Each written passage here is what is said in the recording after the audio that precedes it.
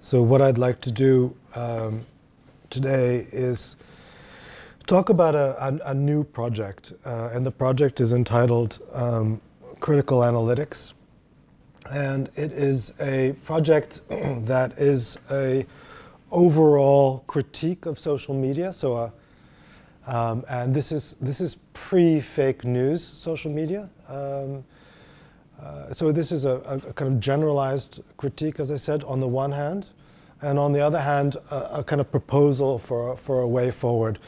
And I call the the critique vanity metrics uh, critique, and the way forward I call uh, critical analytics.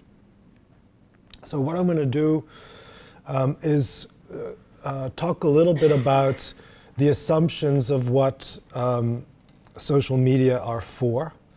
So generally speaking, are social networking sites. So what are they for?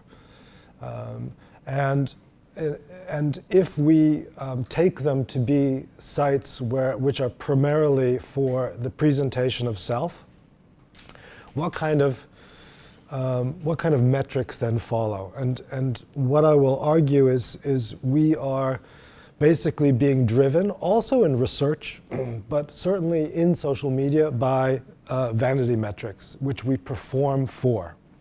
So vanity metrics are performative. So what I'm going to argue is that we should um, seek to consider other forms of engagement. So the, the original uh, um, title of this uh, talk um, is Otherwise Engaged. So I would argue that we would like to seek, or we should seek, different forms of engagement in social media and with social media. And in doing so, we can also redo the metrics. So we can also develop different kinds of metrics that drive behavior or drive engagement in uh, more productive and, and socially uh, uh, significant ways. So this is the overall argument, and so it has a series of steps. Uh, so I want to take you through these steps uh, uh, now. So I just want to kick off um, by talking about um, engagement with social media uh, today. So um, most engagement with social media today is uh, sort of oxymoronically uh, forms of distraction. Uh, so we are distracted. Uh, and there have been a number of notions that have been developed to capture this idea of distraction. Uh, and these are they were developed in the, the, the, late noughts, so 2007, 2008, around this period. However, I still think that they, they capture uh, what uh, this, this, sort of distracted mode of engagement um, that we are all in. And so the first one um, was uh, coined by Nicholas Carr, who's an American cultural, techno cultural critic. and it related, in fact, to search engines, at least initially, uh, whereas the other two are slightly different. But uh, I think it still captures a particular uh, form of, um, of distraction. I just want to quote from, from Nicholas Carr and his idea of flickering man. Now, I mean, it sounds gendered, but I don't think he means it gendered. Um, so, um, and here's the quote uh, from Nicholas Carr contemplative man, the fellow who came to understand the world sentence by sentence, paragraph by paragraph, is a goner. He's being succeeded by flickering man, the fellow who darts from link to link, conjuring the world out of continually refreshed arrays of isolate pixels. The linearity of reason is blurring into the nonlinearity of impression. After five centuries of wakefulness, we're lapsing into a dream state.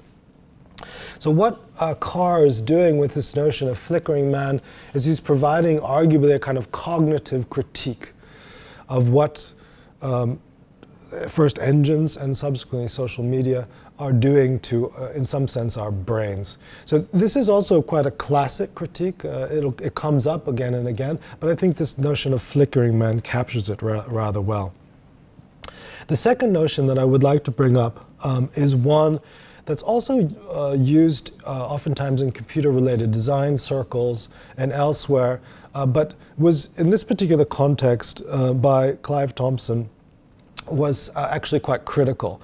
And this is the notion of ambient awareness. And other people, scholars, have talked about the notion of remote intimacy. Uh, and so this is, a, this is what social media are, are, is doing to us interpersonally. So not cognitively, but interpersonally. Um, and uh, ambient awareness is the need uh, and the, actually the performance of a constant, up to the minute updates on what other people are doing. Uh, and uh, as I said, uh, Ito referred to it as remote intimacy. There are other notions as well uh, about, about sort of phatic communication, but then remote phatic communication. So not substantive, but connective communication that continues to drive our modes of engagement, our distra- distracted modes of engagement. Now, the third one, which um, is sort of, I think, more work related, um, uh, is, is, this idea of uh, developed by Linda Stone, and this I think this is uh, this captures something quite uh, quite well, and that is continuous partial attention. So the idea, um, and this is a quote from Linda Stone, an artificial sense of constant crisis so as to not miss anything. A new condition because it is neither synchronous nor asynchronous communication. It is semi sync mode. So we're constantly in semi sync mode. One eye on our phones. This relates, I think, most of all to, to telephones, uh, uh, smartphones, as does ambient awareness. One eye on our phones um, and, and, and one eye on uh, what someone is saying. Uh, and, and this particular idea of, um, of, of, of, this kind of partial attention, this, this particular idea captures um, a, a, form of, uh, like, I think more than the others in some sense, um, sort of a permanent state of distraction. So one is permanently. There's, um, I don't know if you know some of these figures, uh, the, sort of the number of times the average teenager, and it's not only teenagers, look at their phone per day. It's something like 5,000 times. Um, so, I mean, just on the interface level, um, there have been a few uh, sort of uh, ways of addressing this distraction. I just want to bring them up because I think it's important to know that work is being done uh, along these lines because uh, th- that we are distracted is, is quite well known. And, um, and I think um, there are two kinds of uh, types of work being done. The one is um, a, a, kind of playful critique, quite serious, in fact, as well. Uh, and this is uh, a couple of the examples, the work done by Benjamin Grosser, um, his uh, demetrication work. So it's, it's the removal of the, of the numbers uh, from, from the interface. So this is, the, this is his Facebook demetricator, which, um, which he uh, uh came out with in 2014, and then 2018, the Twitter demetricator. So, so the way of removing push notifications and removing, sort of changing the interface so that it does not distract, or at least does not distract as much, and it does not sort of invite our labor uh, and our work for it. Uh, the other one is a kind of a movement that's gone back, that goes back a, a few decades. Uh, and this is the en- encalming technology movement. Now, if you're an uh, Apple user, you'll know that when you have your computer open, your notifications come in slowly upper right. Now, this is directly from this encalming technology. Uh, so, on the one hand, um, it's, it's trying to alert you without distracting you. Um, so, now, uh, the, the origins of this were done by, uh, were put into place by um, uh, John Seely Brown and Weiser, and, and they were working at Xerox, Xerox PARC at the time. And I just want to uh, give you a quotation uh, by them as to why the encalming technology movement. Information technology is more often the enemy of calm. Pagers, cell phones, news services, the World Wide Web, email, TV, and radio bombard us frenetically. See how dated it is. However, now these are dialog boxes, pop-up boxes, push notifications, alarms, updates. So, so th these are um, what is what is now uh, uh, grabbing our attention, and, and, then the calming technology movement um, is is is a is a one way of uh, of, of, of addressing this situation on the interface. Um, but what I want to do now, instead of talk about kind of solutions, I want to develop a broader critique of uh, what, uh, what social media um, is, uh, is, is, assumed to be, what the purpose of it is now, um, and, and in some ways, how to critique it and how to move uh, forward uh, from, from this, to move beyond that particular critique. So what I'd like to argue um, is that social media is assumed to be for um, a couple of things. Uh, so, so one thing um, is that it's assumed to be for social networking. So we're supposed to network uh, on uh, social media. Um, and uh, when one networks on social media, there are a couple of sort of outcomes that the platforms would like to have achieved. Um, and these outcomes have been sort of critiqued in a variety of ways. So one um, is what uh, Jenna Wortham has called success theater. The idea of performing uh, as if you are successful in social media. So showing uh, one's successes. Uh, uh, sort of boastful media. Now, now, we have not necessarily, I mean, this is this front stage performance uh, idea that Goffman talked about, um, uh, but it, it it's also um, leads to particular kind of metrics which I want to come to in a minute, which I call vanity metrics. And, but the success theater is in some sense um, performance of vanity. So being pleased with your achievements, and showing them to others. Uh, so this is the first sort of uh, critique. The second one is uh, productive networking. So we are in social media, um, we are asked in some sense to continually network. And these networks are assumed to be, or at least there is a, debate about uh, whether they should be uh, sort of productive. So um, it, was, it was Dana Boyd um, and her colleague uh, who had a, one of the early critiques of the notion of social networking sites and made a distinction between social network sites, this is a classic, and social networking sites. And, she, and they argued that they should be social network sites, so sort of reflecting and edifying your existing network, and not the sort of neoliberal, here it comes, social networking sites where you're supposed to be productive in the network and turn your friends and acquaintances into some sort of uh, productive relationship, whether it's commodified or not.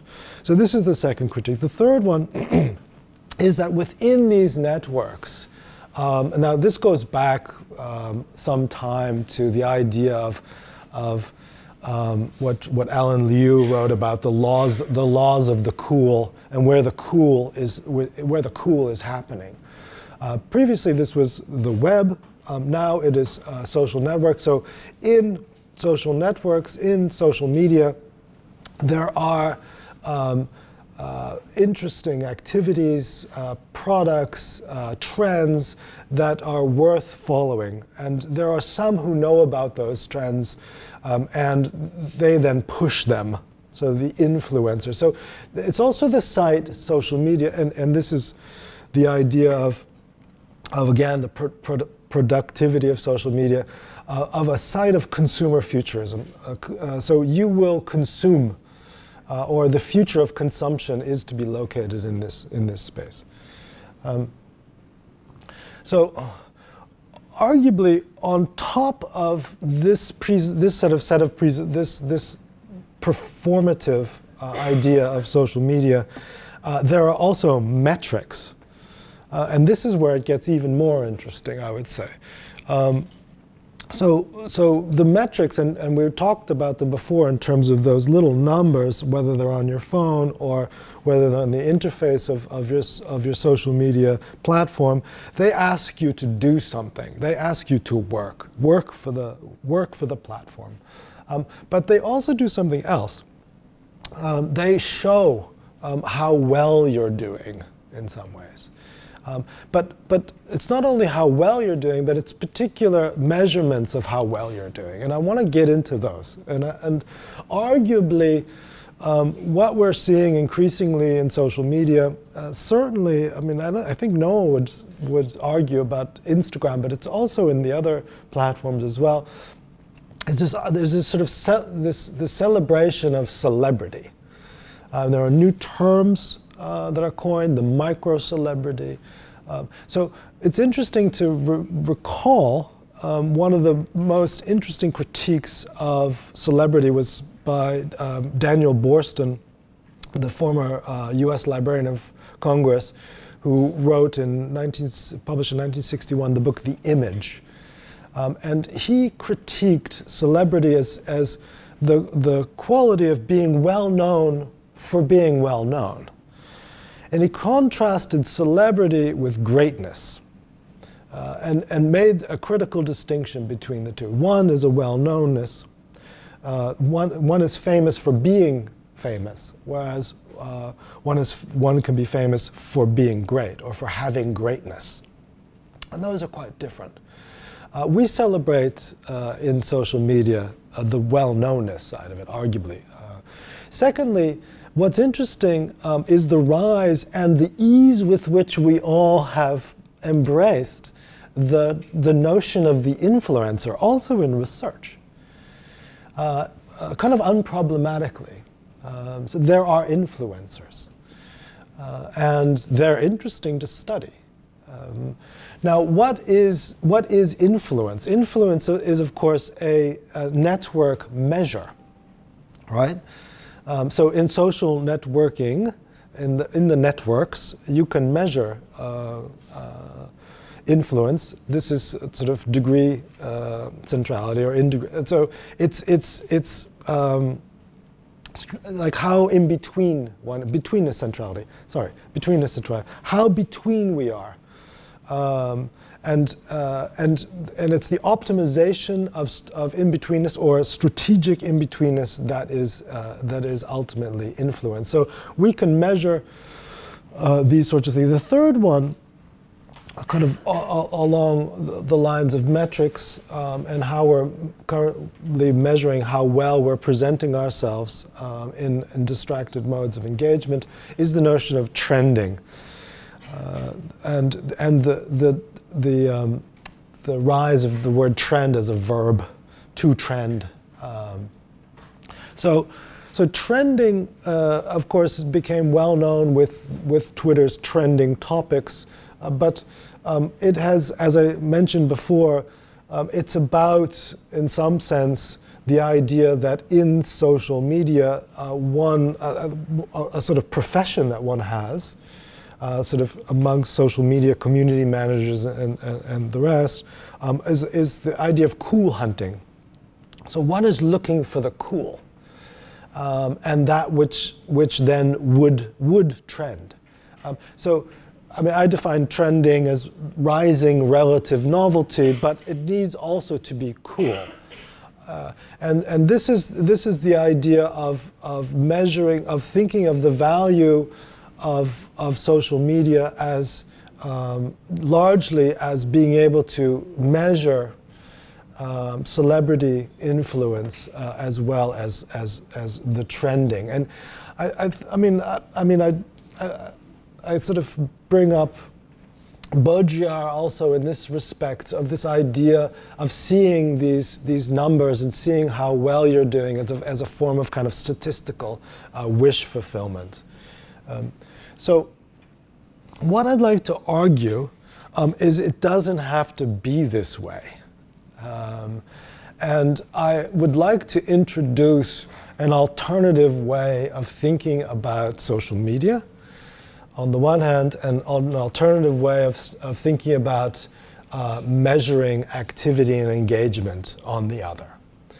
Uh, and this is um, calling uh, this practice critical analytics as a as a alternative uh, to vanity metrics, and I'd like to talk a little bit about um, how to shift the attention from uh, vanity um, to uh, to critical analytics, and I do that um, by arguing that we as scholars and we as activists and we as uh, individuals in, in this world um, could also consider social media not solely or even primarily as a site for the presentation of self, but rather as a site for both the enactment as well as the study of social causes. Uh, and I think that when we, when we begin to think about it, just briefly, uh, we're all very well aware, and the examples that uh, Jana has showed us uh, from various movements that have been studied, I think that that it's um, that it's that it's quite well known uh, that social media also um, is a site uh, of uh, struggle. and is and a, and a, site worthy of the study of social causes. And I wanted like to argue that uh, as scholars, um, these platforms as objects of study arguably have shifted uh, in the direction of that I'm talking about. Um, so this is the argument that the next part of the, the, the, talk is this the argument that I'm going to make. I'm going to argue that scholarship has, has shifted, not completely, uh, but, uh, but in part, from studying these platforms as principally platforms for the presentation of self to platforms for uh, the mobilization and engagement in, uh, in uh, social causes. And I, would like to argue that this has taken place in a variety of uh, uh, platforms. Um, and I want to start um, there. So Twitter, I think, I think Twitter, um, I think we're quite a long way away from Twitter as the as an object of study for um, the, the, the sort of ambient friend following. Um, so this was the original Twitter. This was Jack Dorsey's Twitter, uh, and this was what some people uh, panned as the "what I had for lunch" medium. Uh, so, so, so you know, tweeting about my ham and cheese sandwich. Uh, and and with with people um, you know critiquing that, the first reaction to the um, uh, donation of, of, of Twitter's archive to the Library of Congress, the first comment that that someone put on the blog entry was, "Oh, now I get to know what flavor of burrito someone had for lunch." Right? So, so, the, so, but I think, I think this, this Twitter, um, the, the, the, when the slogan was, what are you doing? Um, uh, this Twitter, and this is um, the original, or one of the original sketches, Jack Dorsey's. This is still on Flickr, at least it was when I looked uh, fairly recently. So, so you see what, what Twitter was, was for here. Twitter was the, was for sort of the young San Franciscan urbanites. Um, it was a domain hack stat.us status for status updates, and the default settings for the young young urbanites where you either were in bed or going to the park. I, I like, those are the two defaults. Um, so I think th this particular idea of Twitter um, uh, changed quite abruptly, arguably, in uh, June uh, 2009 uh, when Twitter um, suddenly was not what I had for lunch, but was the uh, sort of prompt, or at least associated with revolution. So Twitter becomes sort of like kind of overnight as a sort of revolutionary medium. It's interesting because Dorsey and I mean this is around the time when he was outed as CEO before he returned later, but he argued that that Twitter was actually quite good, good at uh, elections, disasters, um, things like this, sort of events.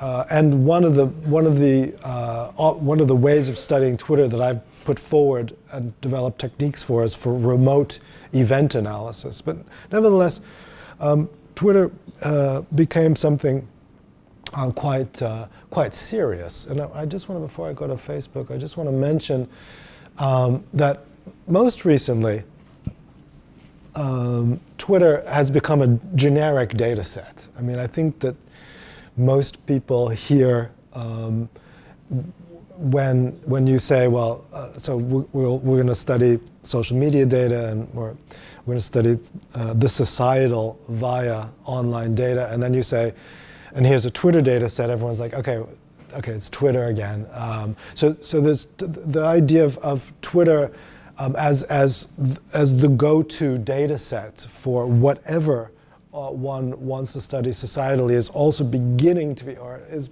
quite critiqued, um, pr predicting elections, uh, predicting celebrity awards, uh, uh etc. But nevertheless, what I'm talking about is this is Twitter 2. Um, this is a paper, uh, a summary of a paper I wrote called Twitter 1, Twitter 2, Twitter 3, um, which I can tell you more about if you're interested. I think something similar has happened with Facebook. Uh, and, and I think the reasons are different. Uh, I, it's not because, well, they are in part uh, similar, but in part different. I think Facebook started off um, as um, a presentation of self, medium in some sense. I mean, I don't know if you've seen the movie The Social Network. Uh, this is Sean Parker, uh, one of the early uh, figures in this uh, in uh, in Facebook. Um, uh, so uh, so the, the, the personal info. I mean, in this particular um, uh, rendition of Facebook, you're sort of looking for people, right? So so it has this kind of kind of this sort of dating uh, vibe to it. If you look up YouTube, by the way, if you go to the Wayback Machine of the Internet Archive and you look up the first screen capture of YouTube, it was the same. It was a sort of kind of dating-esque uh, site. And in, in, any case, so the, this is the, the presentation of self. Um, Facebook was in a, in a number of, for a number of reasons, um, uh, became the object of a kind of ethical crisis. Uh, and this was largely because of this study um, uh, that was that came out um, in 2008 by um, Harvard University uh, researchers who took a, a Facebook data set. Um, and this is very early API. So it wasn't extreme. If you, if you read carefully this study, um, it seems as if they scraped the site, uh, but they did so with permission. So this is it's a bit of a kind of interesting area of exactly how they got the data. But nevertheless, they anonymized a set of profile data, did analysis of classic social network analysis concerning tastes and ties, looking the extent to which connections lead or are, are uh, associated with um, kind of click behavior or the similar, similar preferences. Um, and subsequently, researchers at the University of Wisconsin at Milwaukee looked, took the data set and pulled out some comments, searched Google, and actually was able to, to uh, de-anonymize um, so, so, so uh, studying profiles and studying Facebook as, as, uh, as a social network for the study of tastes and ties um, came, uh, became quite tricky. Around that time as well, Facebook, now famously because of the Cambridge Analytica scandal, and everyone's now going back into the history of face, uh, Facebook's API, around that time changed the API. So you could no longer um, get the data of your friends. Uh, so you were once able to map your network. Um, and, and your friends also, you could also get your friends' tastes, if you will, profile items. Um, but that changed uh, after, uh, it wasn't directly related to this ethics case, although it's not clear if it was not not, it was completely uh, un, uh, unconnected. Nevertheless, because of this ethics case on the one hand, and because of the change in the API on the other hand, arguably a lot of work shifted from the study of the self and friends um, to the study of pages and causes. And of course, this is probably the most famous page of the Egyptian revolution of 2011. We are all uh, Khaled Said. And so we had the, the Twitter revolutions, uh, Moldova, uh, uh Iran, um, etc. And then they were followed in some sense by the Facebook revolution. So we, so we have these, the, the, the revolutionary uh, social media platforms once again as now the study of causes. Um, Jana showed a little bit of this work, um, what one then can do with the study of pages and the, and the study of pages as the study of causes is begin to um, look at pages. Uh, and when one does page analysis, uh, one can do a number of different things, but one of the things one can do is to look at interliked pages. So pages can like other pages, and you can find networks of liked pages around particular causes.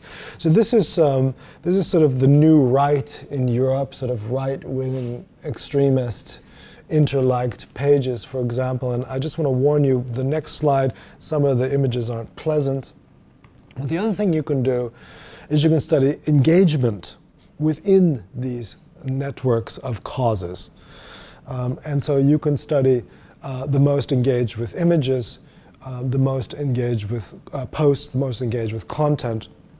And what you often find increasingly is that these are memes. And these are memes across uh, whichever cause. Uh, so, so the meme uh, as a format um, is, is and as additive, I mean, I'm not just talking about image macros, I'm talking about a meme as sort of additive content um, that, that leads to sort of additive comprehension of a of particular stance taking. Um, so this is the kind of study that one, one does uh, with, uh, with now uh, pages and causes. Um, I should mention um, that, um, that, that we're still finding memes. Uh, however, there's a new era, uh, obviously, of Facebook studies um, and that is the, um, the fake news influ influence campaigning era, which we can spend some time talking about if you like. it's a kind of different lecture, if you will. Uh, but what's interesting about this is, is the pressure on Facebook to close the Pages API. So you may or may not know that whoever is running um, academic software that is connected to the Pages API, that we all, uh, were asked to reapply for approval of, of the software by Facebook, and we all did not receive approval. So all of the software, from Netvizz to FacePager to others, um, uh, Netlytics, all of the software is now in limbo. It works, and sometimes the functionality mysteriously doesn't work for a day or two, but then it works again.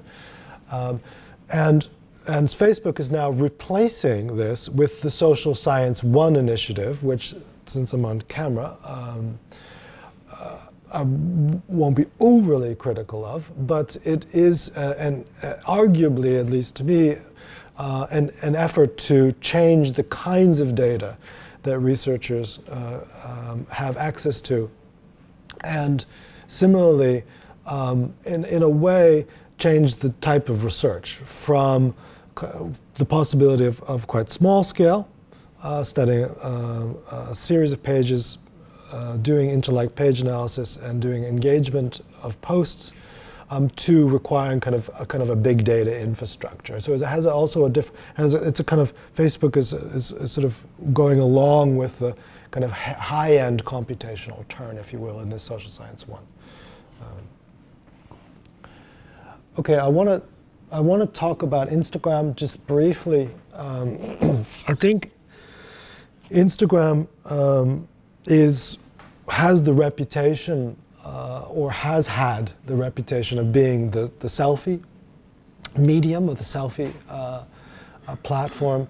Uh, and um, uh, and uh, the um, this is the first. This is Kevin Systrom's first Instagram post. Um, it's his girlfriend's foot and their dog, so it's a kind of family selfie in a way, and and and Instagram for quite some time was associated with sort of the presentation of self, or, or literally self, self-y culture, which led to uh, a number of studies, and this is probably the most well-known one. This is by Lev Manovich and colleagues, Selfie City, uh, which um, uh, took 3,200 selfies in five different cities through a hashtag selfie and geo uh, coordinate query, and then, uh, and then performed formal analysis of the selfies, um, in some sense ultimately coming up with sort of like city mood or city sentiment analysis. So, so uh, he found that, um, uh, that, the, that Latin American um, cities uh, were far more joyful and youthful, uh, and Moscow was kind of dark and sad. Uh, now, what I'm concentrating on um, is this period here uh, with the rise of, and we had some questions about that uh, earlier, the rise of hashtag publics and the study thereof. Um, this is this is the object of study. It's not the platform itself. It's it's the platform as object of study. With the rise of the study of uh, of, of hashtag publics and in particular antagonistic hashtags, um, and I mean, more recently, of course, we've had, I think scholarship has shifted on Instagram. If you went to the Instagram conference in Middlesex uh, last year, um, you will have seen 80% uh, of the scholarship on uh, sort of the aspirational luxury and, and influencer work, critical. Um, one of the terms which I like is this idea of venture labor. Uh, but I'm, I'm, in the, I'm in the antagonistic hashtag space for the study of social causes on Instagram. Um, the idea uh, that there are uh, uh, there's a there's a hashtag um, and there's a counter hashtag. Uh, so this is what I mean by antagonistic hashtags. Um, so it's uh, Black Lives Matter, it's All Lives Matter, it's Blue Lives Matter. It's interesting, I don't know if you've read the essay in the sort of intellectual um, journal, The New Inquiry, on how Blue Lives Matter has, has gone from a hashtag um, to uh, actual legislation in three or four states in the US protecting blue lives as a, as a separate category for, for uh, hate crimes which is, which is remarkable.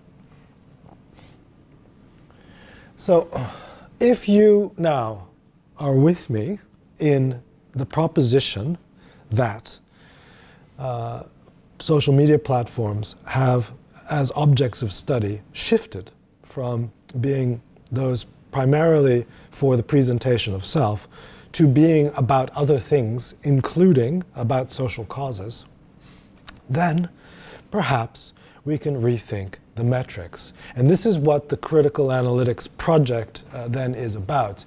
So there's, an, there's another small move in this argument um, that in order to think about studying uh, these networks uh, for social causes and developing metrics to do so, um, one has to, has to rethink the network understudy. And this comes maybe a little bit to what Jana was talking about, although it's, it's uh, adjacent to, the, to our argument. And this is that we don't necessarily need to think of social media as principally social networks, and then thereby undertake social network analysis. But rather, we can think of them in a couple of other ways. Um, now, one is quite obvious. We can think of them as big data, right? Um, and, and, and, and the various analytical procedures and questions uh, that, uh, that come with that idea. However, I want to uh, put forward a third way. And this third way is to think of um, these networks more as issue networks. Um, now, I think this is easy, easier to imagine on Twitter, uh, but I think you can imagine these on uh, other um, uh, uh platforms as well. If you take the step of saying that they're not, they're not social networks only, but they're also another type of network, then we can proceed to do a different analytics project.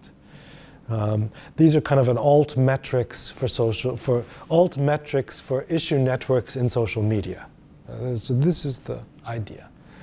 Um, so what I would like to put forward, and, and I'll be as brief as possible, uh, but what I'd like to put forward is at least five uh, uh, critical analytics, sort of critical metrics.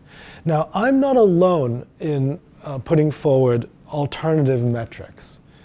Um, and if you start looking around the literature, you'll suddenly, from this uh, vantage point, you'll discover quite a lot of work in this area. I mean, I've been, been reading, a, a, so uh, Dean Freelon, for example, you might know his, his scholarship, he has taken um, Charles Tilly's uh, definition of social movement power and operationalized it in new metrics. So Charles Tilly calls social movement power, uh, I don't know if there's an acronym, WUNC. It's W-U-N-C. So what's power, what, uh, what, where does power, the power of a social, net, uh, social movement derive from? Worthiness, unity, numbers, commitment. And so what Freelon has done is he's developed metrics for precisely that. Similarly, David Karpf has come out with a book in two, uh, 2018 um, called Activist, uh, what is it called? Activist Analytics, something like this. Similarly, looking at how Greenpeace, other NGOs are, um, are developing metrics and analytics that, that are, come from largely media monitoring, but still are, are repurposed uh, for studying of uh, the causes. It could be the effectiveness of messaging, but nevertheless, it's about uh, the study of social causes in, uh, and the resonance thereof in social media. But I would like to get a little bit more abstra abstract, um, uh, more, a bit more conceptual, um, and talk about things that I think we all still um, uh, like grasp as, as um, kind of political, not political science, but sort of political, pol political and politicized uh, concepts that we can metricize. And, and so I want to talk about these. Uh, dominant voice, and I want to put these forward as a kind of as a, a, kind of critical analytics approach. Dominant voice, concern, commitment, positioning, and alignment. Uh, and so I'd like to talk about each of these uh, very briefly. So, what's dominant voice, and where does it come from? So, uh, uh, when you, when, you, when you think of the notion of dominant voice, I think what probably jumps to mind is Foucault as a Foucauldian uh, idea. Um, and Foucault uh, wrote about the cutting down of speaking subjects, um, so, th so the marginalization of, uh, of, of, voice through the dominant voice. Um, and I think that this is uh, quite measurable uh, in, in social media. Um, and I want to remind you that we're measuring these in authoritative spaces. We're measuring these in issue networks. We're not measuring them in big data, and we're not measuring them in social networks, though you could. Uh, but I think the power of critical analytics lies in the type of network under study. Um, and so here, um, uh, this is an example. Um, it's not from social media, but nevertheless, this is, this is um, uh, from US newspapers and which, and this is normalized statistics, so which uh, section of the newspaper um, uh, are articles appearing on HIV vaccine. And this is from 2011. And you see business uh, and health. Uh, so so what's the dominant voice uh, in this in this particular uh, issue space? So, so, these things are kind of eminently uh, measurable. The second one is concern, um, and um, this I take from Latour, uh, although I mean, Latour has theorized matters of concern um, as from a, a, that's a kind of different sort of science studies discourse uh, where he contrasts uh, matters of fact uh, with matters of concern. But nevertheless, he does define concern uh, in passing as the redirection of attention uh, by publics. The redirection of attention by publics. The, what I do in order to operationalize this is I talk about um, uh, actor presence or absence in a particular issue space. Who's there and who's not there? Um, so it's the question here is to whom and to whom is it not a matter of concern. I just want to show you an example from, from Fukushima. Um, and uh, this was uh, um, a query exercise, a query design that we did, looking at uh, the extent to which different types of NGOs were concerned about Fukushima. Uh, and I queried uh, um, environmental NGOs, and I queried species NGOs. And what we found uh, was that the environmental NGOs, so Greenpeace, etc., uh, was ver were very concerned, and the species NGOs, WWF, were not. Now, here we, the, when one is being critical, uh, one is also critical of who is in that space and who's not in that space, perhaps who normatively should be in that space. The third one is commitment. Um, commitment was also a part of Charles Tilly um, as in, in, the social movement power, although I'm not thinking of this in terms of movements. I'm thinking of this uh, more in terms of the uh, of concern over time, um, and the uh, and the the kind of theoretical idea behind this comes from Suleiman, uh, and his distinction between um, the concerns of a citizen and the concerns of a consumer. And how um, citizens have a sort of have uh, have or or should have more enduring care uh, for whatever the community, as he writes, whereas the consumer um, has uh, short-term care for oneself. And the, and the, the idea also, you can think of this in terms of critiquing NGOs, critiquing um, uh, any kind of professional activity. Does one jump to the new trend, to the new funding source, to the new, or does one's concern persist? Uh, do, does one show uh, commitment? And what, what I um, uh, uh, would like to, to give you an example of, and, and I, I, took Greenpeace on purpose because Greenpeace is oftentimes critiqued for, for um, uh, performing media stunts. So, so doing direct action to be filmed to get on the news, um, and jumping thereby from concern to concern. However, when we analyzed this, um, we found that Greenpeace uh, remarkably campaigns for the same issues year in and year out. So we took the campaigning behavior, you can do this for other organizations or baskets of organizations. We took um, the, the, web, the websites uh, of Greenpeace in this case, also for other organizations from the Wayback Machine of the Internet Archive looked at their campaigning behavior. It's normally on a single web page and simply counted. Um, so do they continue to campaign year in and year out for the same things? Do they show commitment or do they jump around? Uh, and it's interesting that, that, there are a few things that they came in and out of, uh, but, but largely um, the other thing that was interesting was, um, you, so you know, Greenpeace uh, has two issues embedded in it: green, peace. Uh, and um, and even though, and this was this was funny, that even though the disarmament side of Greenpeace and the number of direct actions um, in the South Pacific against French nuclear testing, and you know where Greenpeace got its origins, even though it seemed as if attention there had waned, no, they still campaign for both the green and the peace. Uh, the fourth one, uh, nearly wrapping up, is positioning.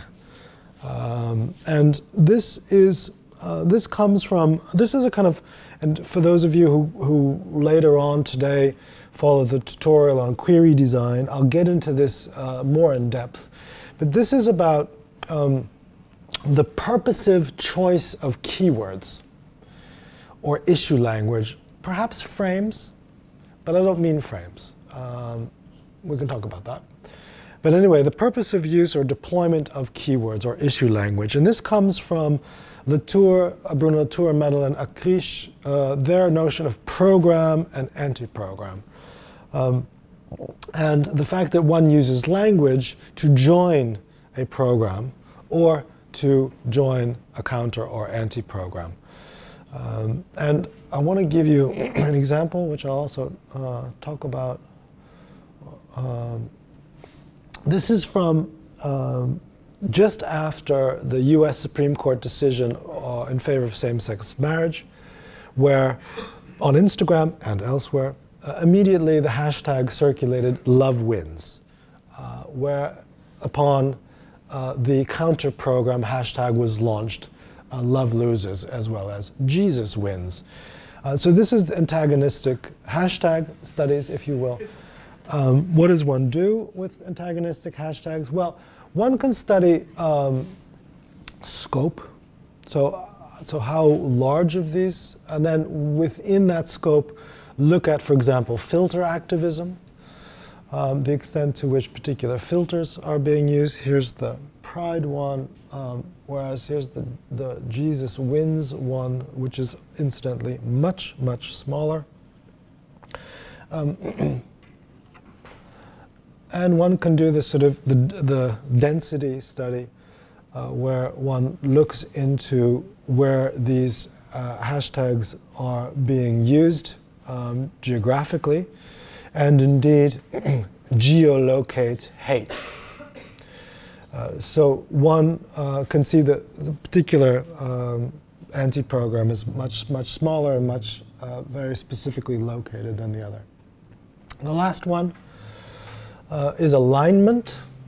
Um, and alignment um, I uh, call, um, and this is following um, Firth's famous study in 1957, I should put that up there, is the company a keyword keeps.